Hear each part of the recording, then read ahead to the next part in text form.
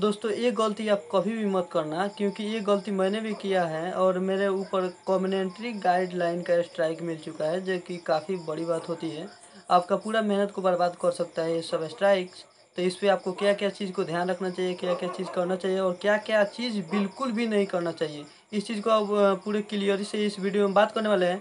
आप वीडियो के एंड तक देखिएगा, ताकि आपको पूरा डिटेल समझ में आ सके। चैनल पर नए हो तो अरे यार सब्सक्राइब कर लेना क्योंकि मैं इसी तरह का वीडियो हमेशा अपने चैनल पर लाता रहता हूँ। चलिए शुरू करते हैं। तो हम फाइनली अपने कंप्यूटर स्क्रीन पे आ चुके हैं, जैसे कि आप लोग देख पा रहे हैं। कॉपीराइट स्ट्राइक ना आए, हम ऐसा क्या मतलब कार्य करते हैं जिसके कारण कि कॉपीराइट स्ट्राइक मिल जाता है? इस बात को हमें ध्यान रखने के लिए क्या क्या चीज़ को ध्यान रखना पड़ेगा, मैं आपको बताता हूँ। सबसे पहले तो क्या आप जो भी टैक्स लगाते हैं, उसमें हैंकिंग टैक्स ना लगाए, यानी कोई भी चीज़ को हैक कैसे करे, चाहे कुछ इस टाइप का टैक्स तो बिल्कुल भी ना लगाए।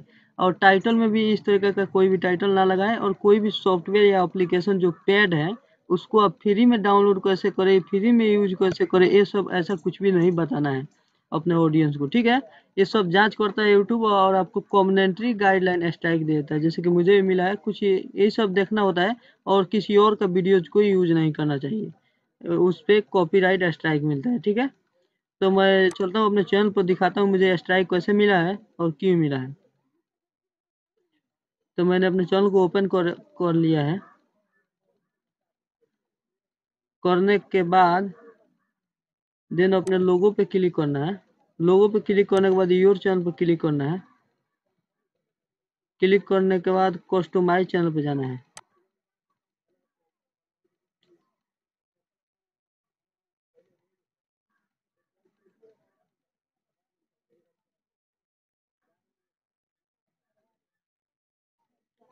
तो मैंने अपने चैनल को ओपन कर लिया है, जैसे कि आप लोग देख पा रहे हैं।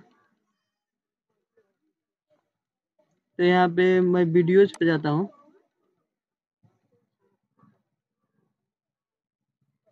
वीडियोज़ पे जाने के बाद जैसे कि देख पा रहे हैं, यहाँ पे रिमूव हो चुका है मेरा एक वीडियो और यहाँ पे कॉपीराइट क्लेम लिख रहा है और इस पे स्ट्राइक मिल चुका है। और आप इसको कैसे पता कर सकते हैं? जैसे कि सी डिटेल्स पे आपको क्लिक करना है।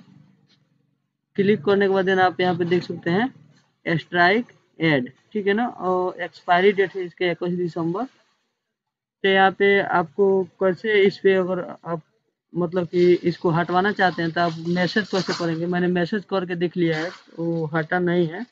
बहुत कम ही हटता है तो तीन महीना रहता है, तीन महीने के बाद अपने आप ही हट जाता है।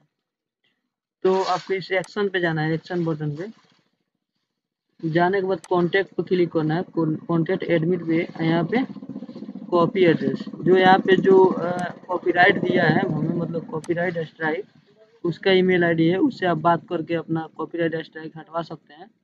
यहाँ से, और दूसरा है, यहाँ पे क्लिक करने के बाद सबमिट कॉन्टैक्ट मैं यहाँ पे स्क्रीन पर मैं लिख कर आपको दिखा देता हूँ। यूट्यूब कॉपीराइट गाइडलाइन वाला ईमेल आईडी इस पे आप मैसेज कर सकते हैं कि मेरा कॉपीराइट क्लेम फेक है, इस तरीके से। यहाँ से भी जाकर अपना स्ट्राइक से बात कर सकते हैं, और दूसरा आप ईमेल पे जाना है आपको। मैं ईमेल आईडी मैं नीचे लिख दूँगा आपको क्या लिखना है वहाँ पे। सब डिटेल्स मैं यहाँ पे लिख दूँगा। मैं जीमेल सर्च कर लेता हूँ। जीमेल सर्च करने के बाद यहाँ से मैं डायरेक्टली भी जा सकता हूँ।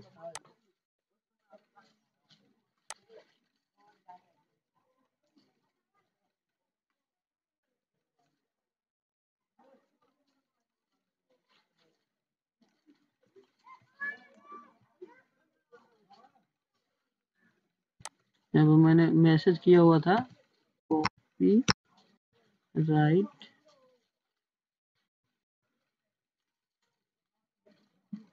यहाँ पे आ चुका है, देख सकते हैं।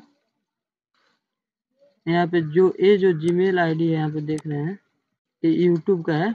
इसी पे आपको मैसेज करना है कि योर फेक दिस कॉन्टैक्ट जिस पे मैंने एक डिस्क्रिप्शन में लिख दिया है, उसी को आपको कॉपी करके अपने मैसेज पेस्ट करके आप सेंड कर सकते हैं। और कॉपीराइट नहीं हटा तो चिंता की कोई बात नहीं उससे आपके चैनल पर कोई भी इफ़ेक्ट नहीं पड़ता है। तीन महीने के बाद अपने ही हट जाता है। लेकिन आपको ध्यान देना है कि आपको फिर से कभी भी आपको कॉपीराइट स्ट्राइक ना मिले, क्योंकि तीन स्ट्राइक पे आपका चैनल बंद हो जाता है। जैसे कि मैंने यहाँ पे रिक्वेस्ट मैंने किया हुआ था, जैसे कि देख पा रहे हैं। देख सकते हैं, यहाँ पे मैंने लिखा था, यहाँ पे कुछ इस तरीके से। यहाँ पे जो यहाँ पे डॉट लगाया गया है। यहाँ पे अपना वीडियो का टाइटल देना है और नीचे पे अपना लिंक दे, दे करके इसे भेज देना है उसके पास ठीक है? तो और उसके बाद में आपको क्या करना है और आपने मैसेज कर दिया ठीक है ना? ये तो हटने वाला तो है नहीं ठीक है? तो हम इसको हटाने के लिए उसके बाद हम ऐसे कट कर लेते हैं और इस वीडियो को आपको डिलीट कर देना है। जैसे कि मैं आपको डिलीट करके दिखाता हूँ। इस ऑप्शन पे जाना है और यहाँ पे डिलीट पे जाना है और इस वीडियो को नहीं रखना है, ठीक है ना?